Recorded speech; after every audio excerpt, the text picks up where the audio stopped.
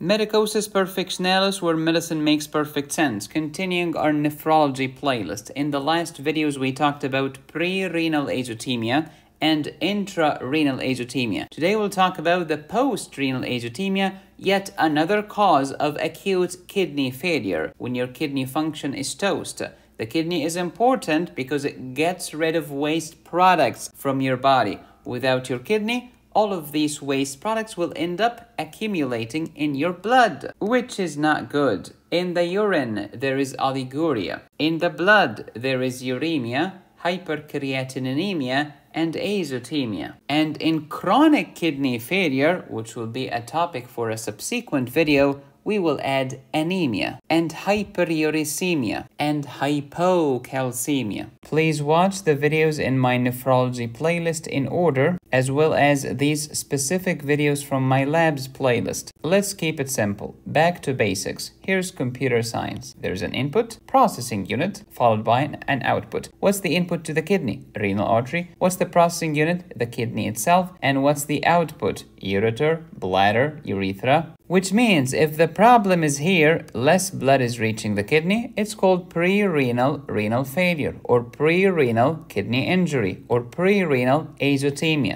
If the problem started in the kidney itself, it's called intrarenal azotemia. But if the problem started after the kidney, i.e. in the ureter, bladder, urethra, etc., it's called post-renal kidney injury. Your kidney has gazillion functions, one of which is to get rid of waste products like urea and creatinine. And that's why kidney failure is not fun, because it's the job of the kidney to get rid of that urea by excreting it into the urine. But if the kidney has failed, what's going to happen? Urea will pile up in your blood because the kidney cannot excrete it anymore, and this is called uremia. And since urea is made of nitrogen and the word for nitrogen is azote, we call this disease azotemia. Acute renal failure is the same as acute kidney injury, is the same as acute renal insufficiency or acute renal azotemia. Why acute? Because there is a rapid deterioration of kidney function within days or weeks. Why do you call it injury? Because for the most part it is reversible. We compared between acute renal failure and chronic renal failure in the previous video. Please pause and review. Remember that acute kidney injury could be pre-renal, intrarenal, or post-renal. If my kidney is toast, serum creatinine will go up because there is no one to excrete it and my serum blood urea nitrogen will also go up because there is no one to excrete it. What's the normal BUN level in the blood? Less than 18 milligrams per deciliter. And what's the normal creatinine in the blood? Less than 1.2 milligrams per deciliter. Let's say that the average serum BUN is 15 and the average serum creatinine is 1. If I do the BUN to creatinine ratio, 15 to 1 or 15 over 1, you get 15. Also remember that the BUN is partially reabsorbed because the kidney needs that urea to concentrate the urine. So some of that urea is reabsorbed back from the tubule to the interstitium, but serum creatinine is total waste. We gotta excrete it. If BUN is 15 and creatinine is 1, then the ratio is 15 or higher. A normal kidney should reabsorb urea, but not creatinine. That's why the ratio is higher than 1, and that's why the higher, the better.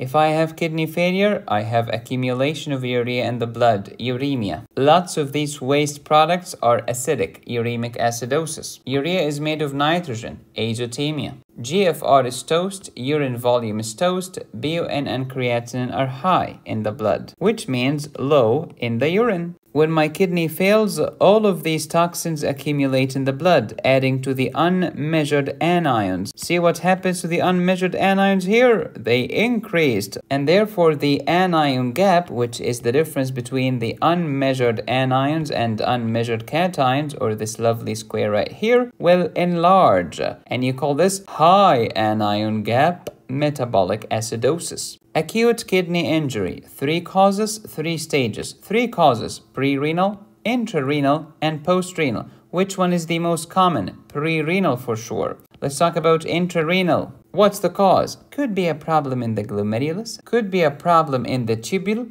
or could be a problem in the interstitium. And sometimes the problem is in the renal vessels. But I just wanted to keep everything in three. And then what are the causes of tubular diseases here? Hypoxic or toxic? I'm not receiving enough blood or I'm being hammered by a freaking toxin, which could be a drug, a heavy metal, or a radio contrast dye. As for the three stages, they are initiation, maintenance, and recovery. What makes a good kidney good? That the serum BUN is normal, kept below 18. Serum creatinine is normal, kept below 1.2. BUN to creatinine ratio is kept above 15. A good kidney does not waste sodium in the urine. Sodium is precious for your body, so the fractional excretion of sodium should be less than 1%. A good kidney is not wasting sodium in the urine, so the urine sodium is less than 20 milliequivalents per liter. A good kidney is capable of concentrating the urine, so the urine osmolarity is high, greater than 15, and the urine volume should be between 1 and 2 liters per day, for sure higher than 500 milliliters per day. Now let's talk about pre-renal azotemia. I'm not receiving enough oxygen because I'm not receiving enough blood versus renal azotemia. I am not receiving enough blood, hypoxic, or I'm being hammered by a toxin toxic. Post-renal, usually caused by an obstruction of the outflow. Oh, by the way, you can download these doozy handwritten notes on my website. It's a gentle reminder that acute kidney injury might have oliguria, less than 400 or less than 500 mLs of urine per day,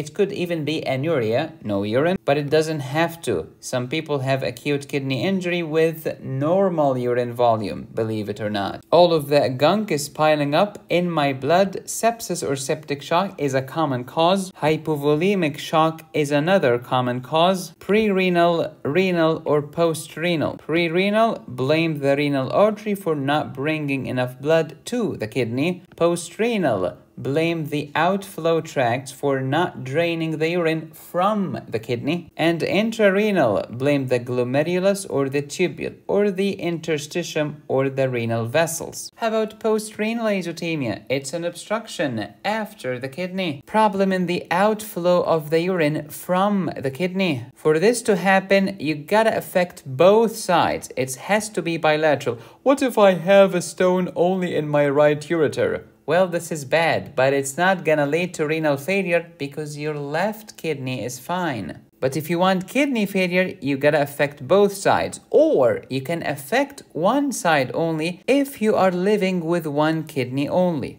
Examples of the obstructions stones, maybe a stone in the kidney, the ureter, the urethra, strictures or adhesions in the ureters or the urethra. Then we have cervical cancer in females and benign prostatic hyperplasia in males. Both of these conditions will constrict the urethra and decrease the outflow. How about bladder cancer? How about retroperitoneal disease like retroperitoneal lymphadenopathy or retroperitoneal fibrosis? Of course, they can lead to outflow obstruction. Early on, the kidney itself is fine, giving you the features of a good kidney. But later, if this is not corrected, the kidney will be bad. When the kidney is struggling like this, it will appear swollen yet pale, especially in the cortex because the cortex contains the proximal convoluted tubules, the most active tubules in your kidney. Postrenal azotemia again, back pressure because of the outflow obstruction. The obstruction could be anatomical, like a stone, stricture, etc., or could be physiological or functional, such as a bladder that does not want to contract, neurogenic bladder, which can happen in spinal cord injury, tertiary syphilis, diabetes mellitus, especially if it's chronic, poorly controlled for a long period of time, and many other neurological conditions. What else? Bilateral renal vein thrombosis, because the renal vein is an outflow of the kidney. If it's obstructed, back pressure, the kidney will be toasted. And multiple myeloma, if it is severe enough to cause tons of Bence-Jones proteins to be in the urine, and these light chains will obstruct the outflow. Symptoms are the same as pre-renal or intrarenal azotemia, fatigue, anorexia, nausea, vomiting, and pruritus, dirt in my eyes, I'm thirsty, I am dizzy, and I fainted. What are the signs of uremia? Toxic facies, uremic skin frosting, the chalky white deposits, pericardial friction rub, painless pericarditis, petechia purpura ecchymosis because the high uremia interferes with platelet function by inhibiting the platelet receptor known as GP2B3A, which is responsible for platelet aggregation. When the platelets cannot aggregate, you get primary hemostasis defect. Petechia purpura ecchymosis. Petechia are the smallest, followed by purpura, and the largest are ecchymoses. Early on, it's a good kidney. BUN to creatinine ratio is normal, above 15.